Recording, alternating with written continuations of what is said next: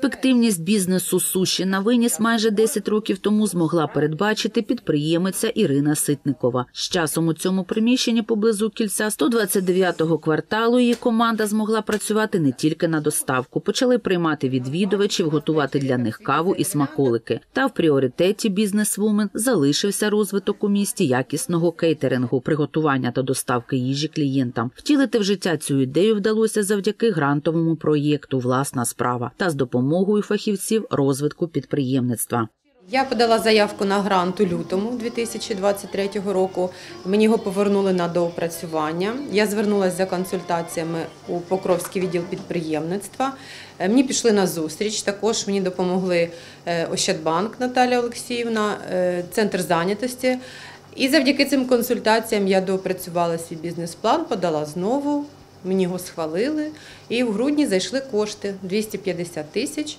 Ми їх освоїли, придбали обладнання, а також створили нові робочі місця. Тепер команда Ірини відкрита до тематичних експериментів. Нове обладнання дозволяє індивідуально розробляти страви за побажанням клієнтів. Це ось така в нас є піцепеч. Тут вона йде на два. Ось, будь ласка, можна подивитися, як воно світиться. Все новеньке в нас. Наші робочі процеси, коробочки. Також ми придбали плиту таку. Вона дуже мощна і дуже швидко все на ній готувати, дуже зручно.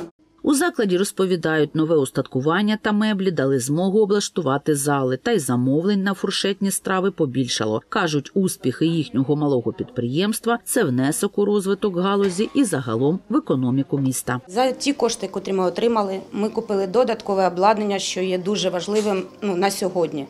Тобто, так як ми працювали як суші студія, роли і все, то тепер ми маємо таку на змогу робити щось більше і для людей, і для попиту.